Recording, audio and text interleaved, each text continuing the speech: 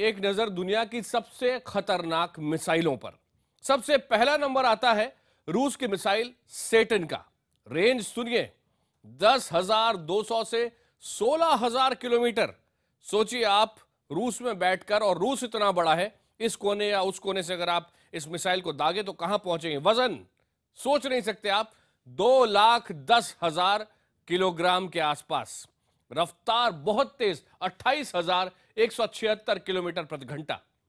सेटन, जिसका अर्थ है शैतान, रूस की यह शैतानी मिसाइल इस वक्त दुनिया की सबसे खतरनाक मिसाइल मानी जाती है। दो लाख किलोग्राम से भी ज़्यादा वज़न की यह मिसाइल एक साथ 800 किलो टन के 10 बम ले जा सकती है। ये इसीलिए खतरनाक है क्योंकि इसमें 40 नकली बम भी हैं जो सतह पर इस मिसाइल को शूट करने के लिए छोड़े जाने वाली मिसाइल को भटका देंगी। नकली बम अपनी तरफ़, मिसाइलों को खींच लेंगे, नष्ट हो जाएँगे, असली बम नीचे जाके गिरेंगे। अब बात चीन की मिसाइल डोंगफेंग 55 ए, आईसीबीएम की। इसकी रेंज है थोड़ी सी कम रूस से 12000 से 15000 किलोमीटर। वज़न पौने दो लाख किलोग्राम। कंप्यूटर से लेस मिसाइल है ये, चीन की सबसे बड़ी संघारक मिसाइल है। वज़न इसकी ताकत है। इस मिसाइल की मदद से चीन दुनिया के किसी भी हिस्से तक वार कर सकता है।